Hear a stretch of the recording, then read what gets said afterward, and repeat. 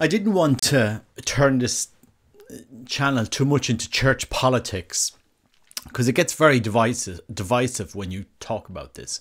And I do want to encourage people to know the faith, to know Christ, to know what I love, to, to renew the Eucharist. But I was thinking about what was happening in France with Cardinal uh, Jean Pierre Ricard, who in effect has been accused of raping a 14 year old girl. He's admitted it. I mean, I, to what extent we don't know, but we know he, he forced himself on this girl. And as a father of two daughters, one who is 16 years old, you know, I'd be horrified if any man did that to my 14 year old daughters. And I think most normal fathers would be horrified if anybody touched their children. I can certainly tell you, um, I would be uh, holding back no punches if somebody came and uh, and told me that they had done something like that to my children. Uh, I think the emotions for any normal man are very strong when it comes to this, and the and the Vatican and the Pope have been very quiet about the fact that a cardinal has admitted to this abuse of a 14 year old girl. Um, you would think there would be some swift reaction from the Vatican that Cardinal uh, Jean Pierre Ricard has uh, had his red hat mo- removed and has been removed from the uh, Electoral College of Cardinals in Rome. He's still 78. He could go to the conclave tomorrow if there was one. And yet, we seem a Rome very, very slow to react to this.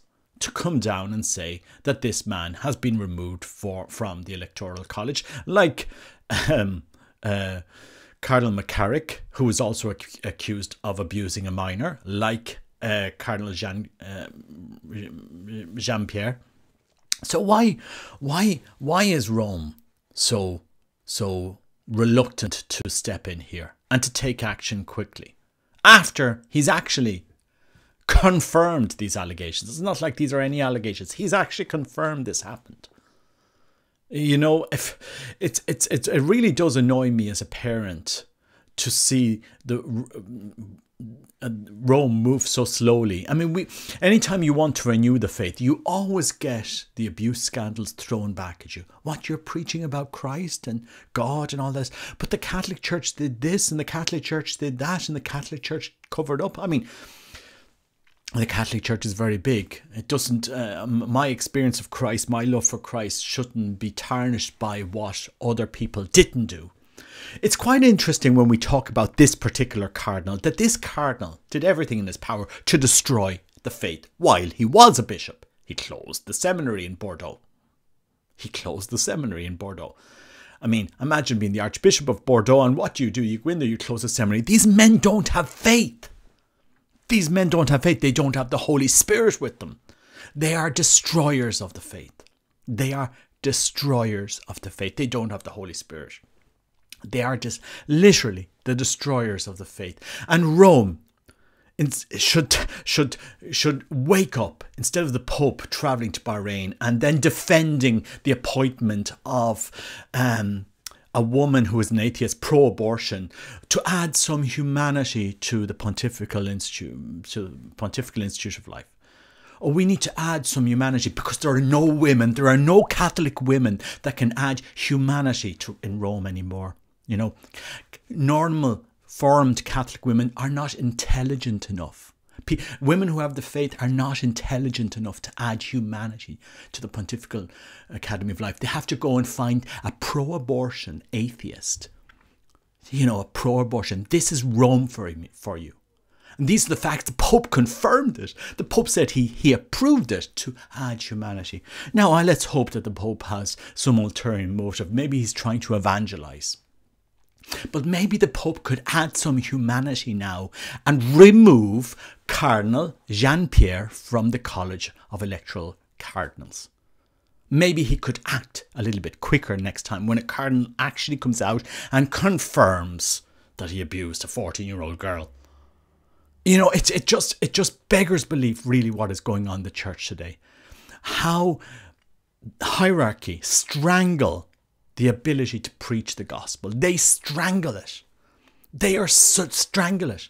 This synodal process is strangling the church because you're not able to preach what the faith actually is. You don't. You won't actually say, tell us what is the deposit of the faith that you actually believe in, because it's quite clear that this cardinal does.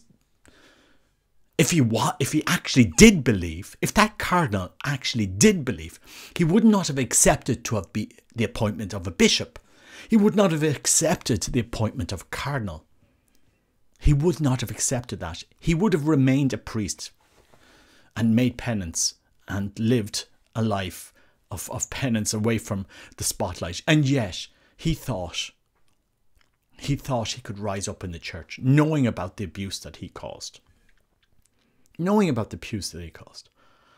I mean, it's it's it's really shocking. It's really shocking to think that Rome now is moving so slow when it comes to acting, making a decision on Jean Pierre because they are very quick at defending appointing women who are pro abortion and atheists to add humanity to their institutions in Rome. Let's add because there's no way. It's it's amazing, you know. There, it's amazing there are no Catholic women who are economists anymore. You know, it's amazing how stupid Catholic women are treated.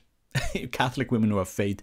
There is no. There seems to be none of them out there I don't know what education we're given today. Us Catholics don't seem to be educating women at all, that we can't find a woman who is an economist to add humanity. I mean, where shall I start? Where shall I start? I'm just, you know, I didn't know if I was going to do this video, but then I was just thinking, you know, I'm a father. I'm a father. I have children. I have daughters. You know, and I would want people to move to avoid the horror of this. We need to form men to respect women, to respect themselves and to respect women, to respect others. We need to form our boys. We need to teach the faith. You need to call out to men it's wrong to look at pornography, it's wrong to use women.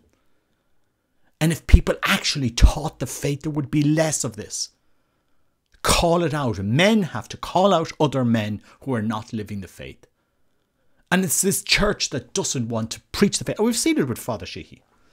You know, we've seen it. Oh, this is not the Christian way. This is not the, the bishop. Doesn't does the bishop actually know what the Christian faith is? We need to call out what is sin. You need to call it out. Men start looking at pornography and they move on to where else? They use and abuse women. Why is it that one in four women, apparently in Ireland, are are abused or mistreated by other men? Why is it? Apparently, these are the statistics. The one in four women in, in Ireland are uh, abused or misused or maltreated by other men. Why is that statistic there? Because I know I, many women have reached out to me suffering. You know, you have to call it out. You have to form people. You have to form your kids. You have to tell them what's right and what's wrong. And we don't seem to be able to do this. And this is why this bishop all he did was destroy the faith in his archdiocese. He was the destroyer of the faith, literally the destroyer of the faith. And we have Rome now that is not able to come down and tell us and act and remove that bit cardinal from the College of Cardinals. It shouldn't take them so long. There should be a zero policy.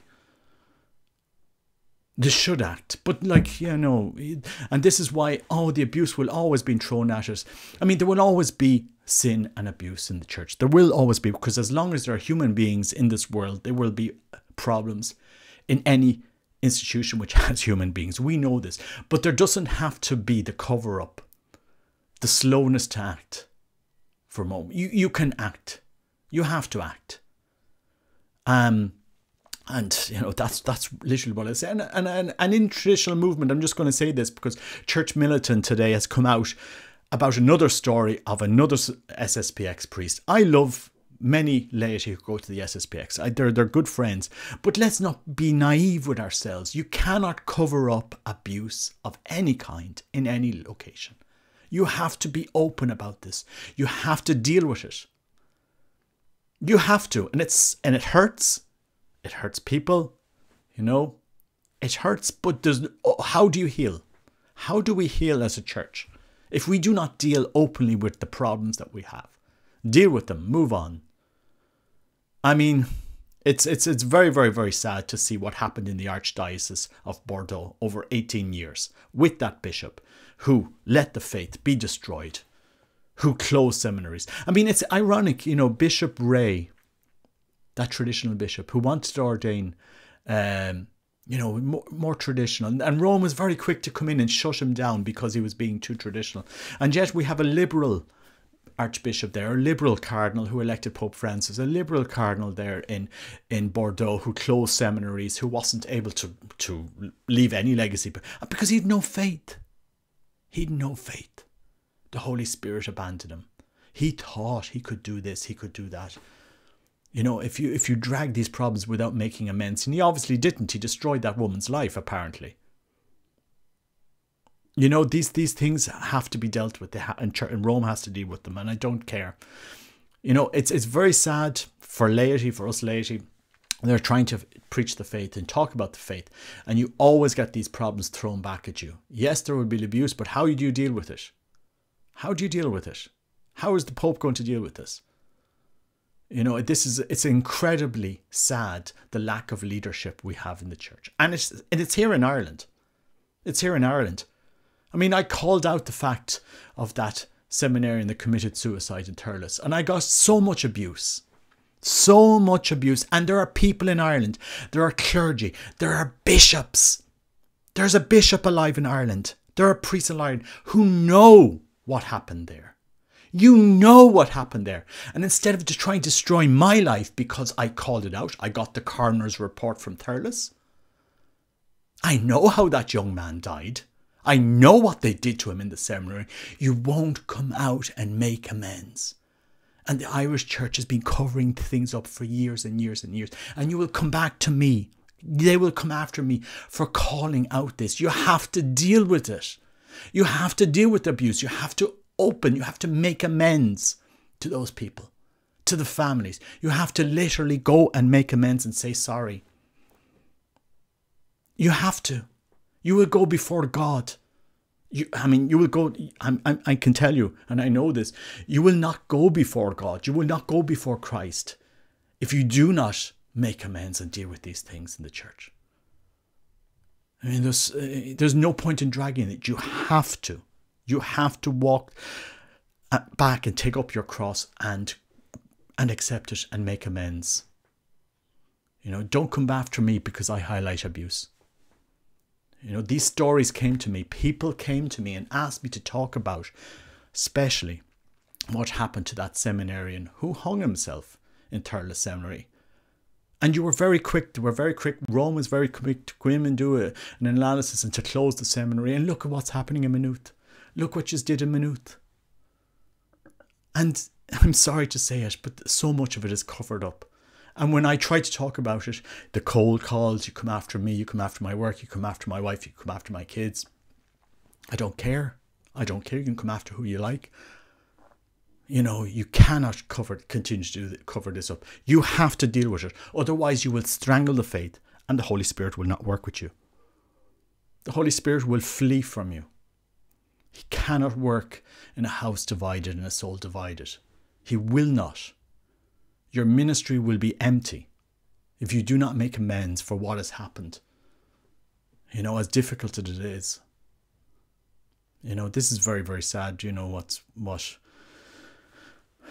what this cardinal did, but uh, you know, it's it's it's desperately it's desperately sad, um, and it's sad in Ireland. You know, we to renew the faith. There needs to be honesty. There needs to be reparation. There needs to be. You need to go back. You need to, to say sorry for what you've did for the people you've offended, for the hurt you've caused. And I know it. I know who people. I'm not going to talk about this. I know the problems in Ireland. What's the way forward?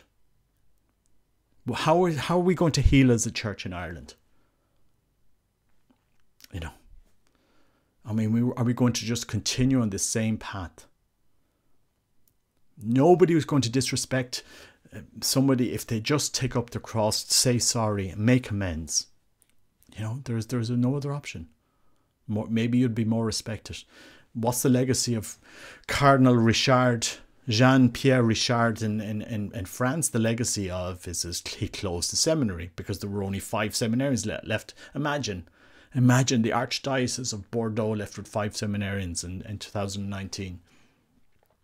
And he was very quick to give his resignation, was, and Rome was very quick to accept it. And now we know the allegations, and the Pope has refused to move.